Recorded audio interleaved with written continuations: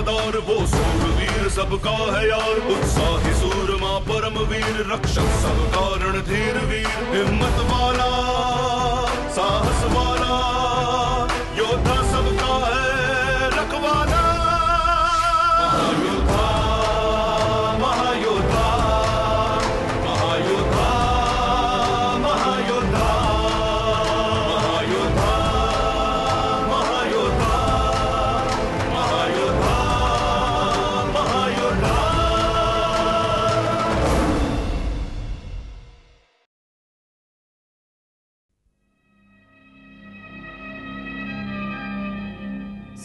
तोते प्रेम की भाषा समझते हैं? और प्रेम के जादू के सामने माया का जादू कोई असर नहीं करता है। तब तो ये तोता हमारा संदेश हमारे प्रियजनों तक पहुँचा सकता है।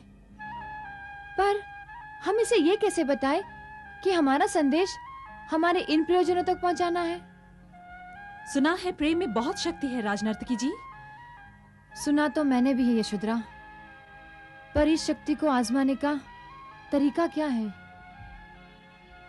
यदि हमारे प्रेम में शक्ति है तो हम सच्चे मन से अपने प्रिय को आँख बंद करके याद करते हैं। यदि हमारा प्रेम सच्चा है, जिन्हें हम याद कर रहे हैं तो आँख खोलने के पश्चात हमारी आँखों में उनकी छवि दिखाई देगी।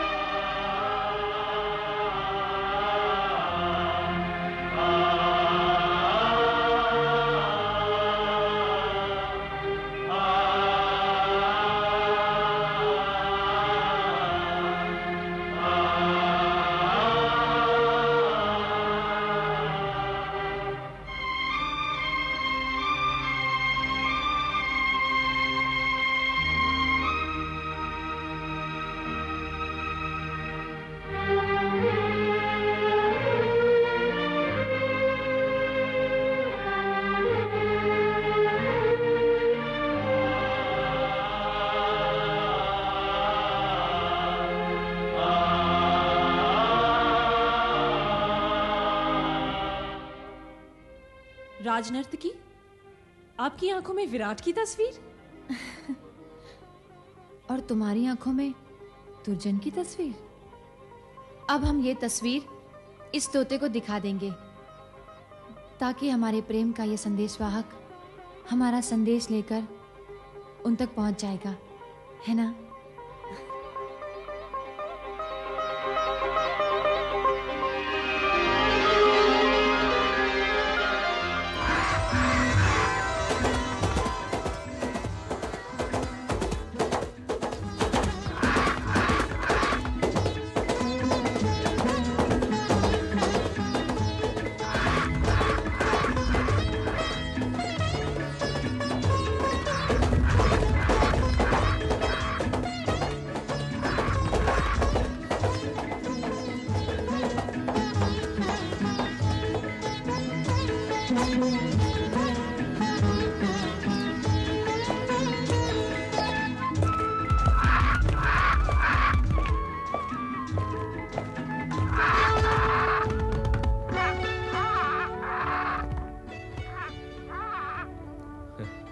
क्यों भाई? जिस राज्य में इंसान इंसान से प्रेम करना भूल गया हो, वहाँ पे तुम कहाँ से आगे प्रेम की भाषा बोल रहे हाँ? अरे। संदेश? तुम किसके दूध बन के जंगल में आए हो? मैं यशोधरा। मैं राजनर्तकी चंद्रबाला। हम दोनों जीवित हैं और साथ हैं। ये सेनापति काल भैरव की माया नगरी है जहाँ हम कैद हैं। इस माया नगरी पर सेनापति काल भैरव के गुरु प्रचंड देव का कब्जा है। इस तिलिस्म तक पहुँचने का रास्ता हमारा ये संदेशवाहक तोता तुम्हें बताएगा।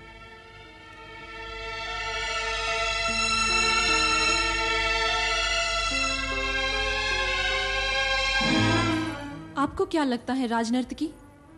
क्या हमारा संदेश नगर प्रमुख विराट तक पहुँच चुका है? हो सकता है हमारा ही संदेश उप सेनापति दुर्जन तक पहुँच गया हो। ये भी तो हो सकता है कि जिस तोते को हमने अपना संदेशवाहक अपना दूध बनाकर भेजा है वो भी प्रचंड देव की माया का एक छल हो और प्रचंड देव के पास हमारा संदेश लेके पहुँच गया हो। प्रेम भी करती हो और मौत से भी घबराती हो।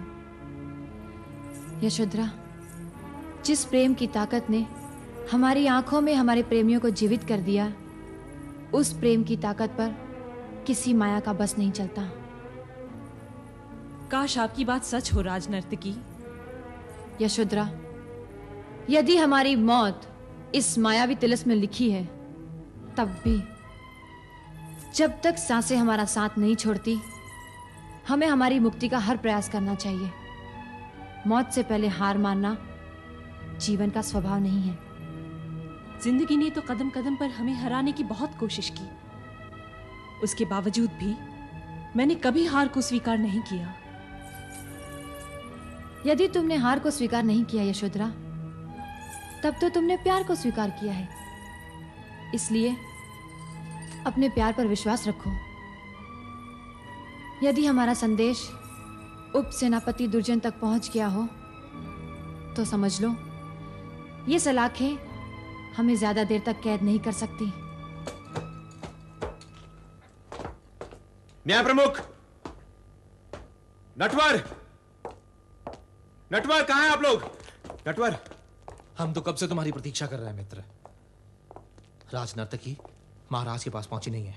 नटवर यशोधरा और राज नर्तकी चंद्रबाला का पता चल गया है।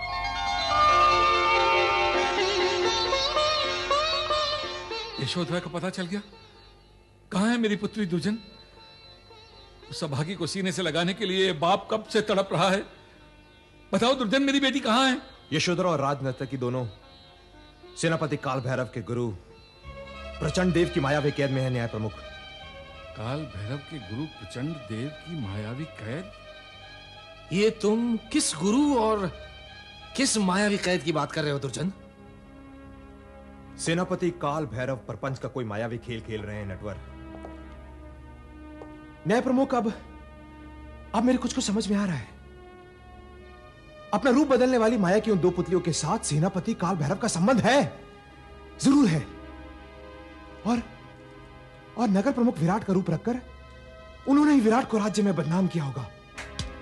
तब तो वही माया की पुतलियाँ, न्याय प्रमुख।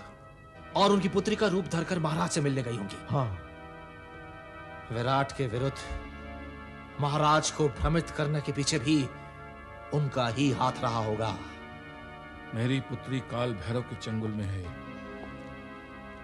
उसी दुष्ट ने अपने तंत्र मंत्र के माया जाल में मेरी पुत्री को फंसा रखा है। दुर्जन में काल भैरव को ज़िंदा नहीं छोड़ूँगा। टुकड़े टुकड़े कर दूँगा उसके। न्याय प्रमुख सेनापति काल भैरव पर अंतिम हमला करने से पहले हमें यशोधरा और राज नर्तकी चंद्रबाला को उनके चुंगल से मुक्त करना होगा।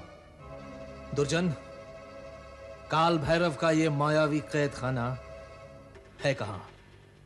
मेरे पास एक मासूम तोता है जो यशोधरा और राजनीति की चंद्रबाला का संदेश लेकर मेरे पास आया था। वही हमें वहाँ तक ले जाएगा। तो फिर देर किस बात की है दुर्जन? काल भैरव का बंदी ग्रह तो हमने देख रखा है। चलो अब उसके गुरु प्रचंड देव का तिलस्मी कैद खाने भी देख लें। नहीं न्याय प्रमुख।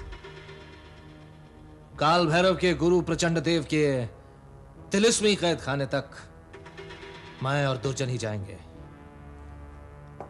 इस राज्य को अभी आपकी बहुत आवश्यकता है। चलो दुर्जन। चलो। सेनापति काल भैरव के गुरुदेव के भी दर्शन कर लेते हैं। आओ।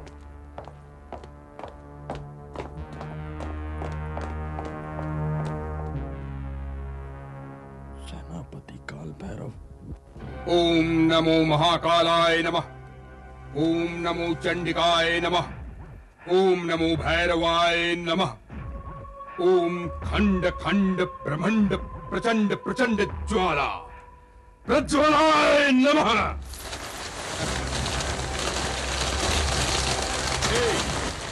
चंडिका के क्रोध की अग्नि।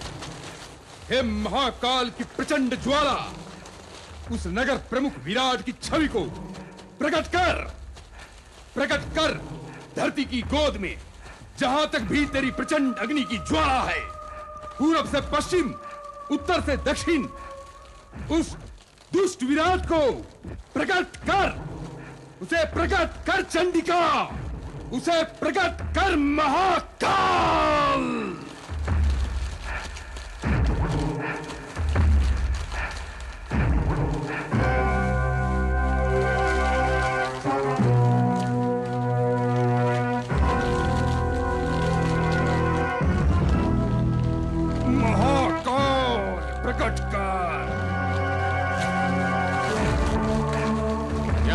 गुरुदेव। क्या अग्नि ने विराट का पता बताने से इनकार कर दिया। अग्नि प्रचंड देव की दासी है। इस अग्नि पर अविश्वास मत करना काल भैरव महाकाल के नेत्रों की ज्वालाओं में बहुत शक्ति है। वो हमारे छिपे हुए दुश्मन को चाहे वो कहीं भी हो उसे ढूंढ निकालती है। किंतु इन ज्वालाओं में तो विराट की छवि तक नज़र नहीं आई गुरुदेव। यही तो तुम्हारे लिए प्रसन्नता की बात है मूर्ख। विराट अब इस पृथ्वी पर नहीं है। विराट इस पृथ्वी पर नहीं है? यदि विराट इस पृथ्वी पर नहीं है तो कहाँ चला गया वो? कहाँ चला गया वो गुरुदेव? जब तुम इस पृथ्वी पर नहीं रहोगे तो कहाँ जाओगे काल भैरव? विराट अब इस पृथ्वी पर नहीं है। वो अब मृत्यु लोक में जा चुका है। जो मृत्यु लोक में चला जाता है, वो वापस लौट कर नहीं आता है। अब तुम जाओ और महाराज को मृत्यु लोक में पहुँचाने की तैयारी करो। किंतु हमारे रास्ते की एक रुकावट और है, गुरुदेव।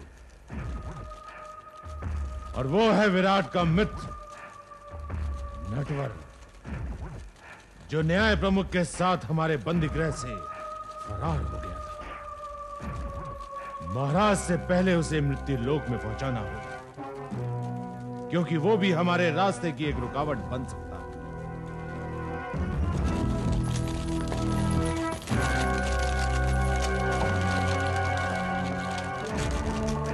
नटवर, प्रकट हो।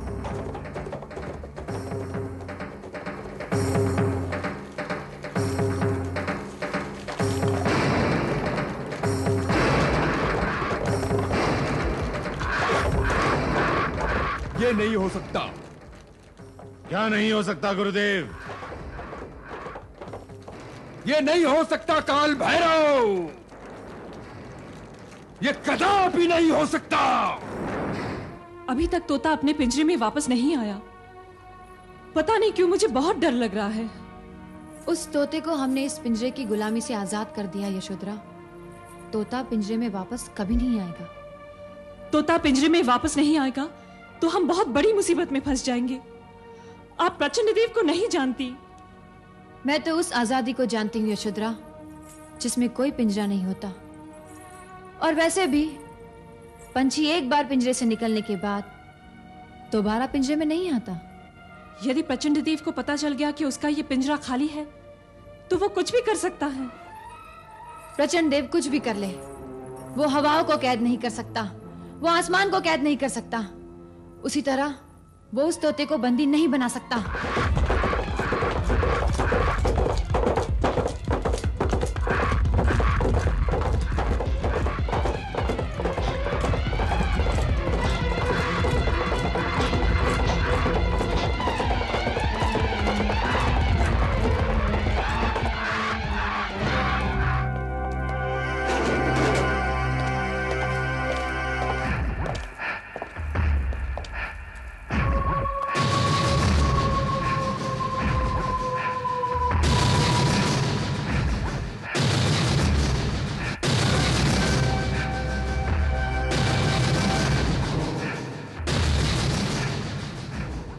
देखो।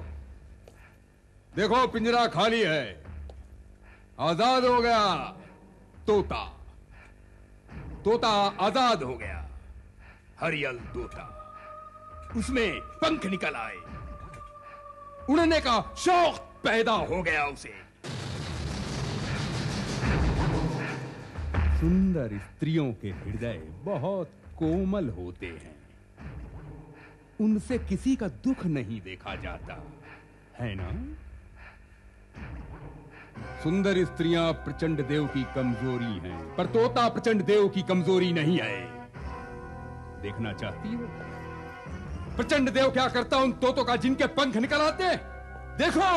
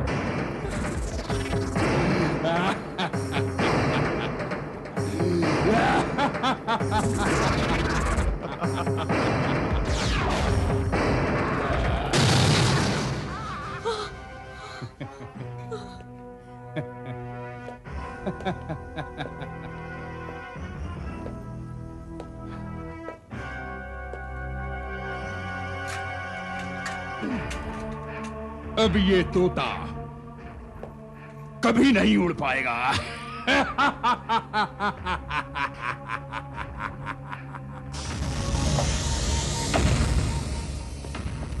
ये तो वही जगह है, दुर्जन।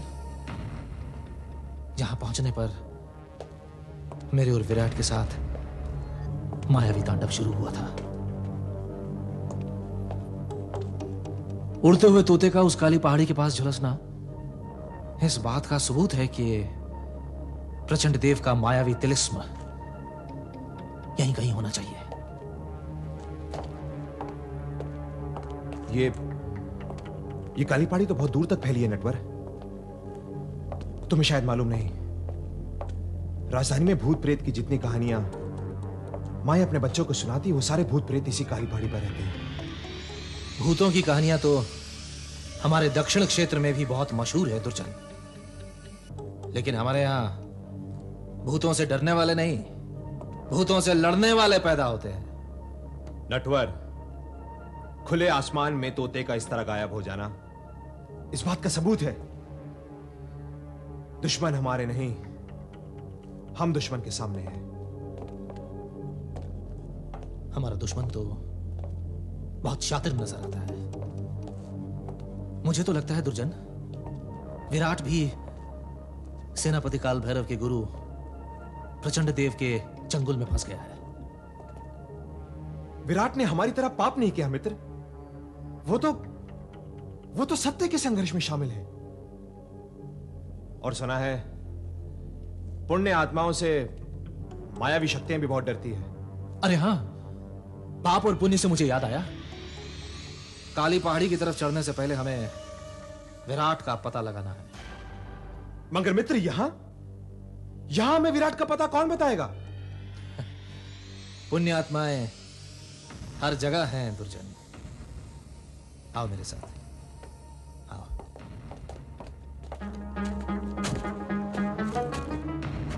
ये ये तो मुझे कहाँ लेकर आ गए मित्र? दुर्जन यहाँ एक पुण्य आत्मा का वास है। फकीर बाबा! फकीर बाबा। सामने आइए फकीर बाबा। हमें आपकी सहायता चाहिए। फकीर बाबा।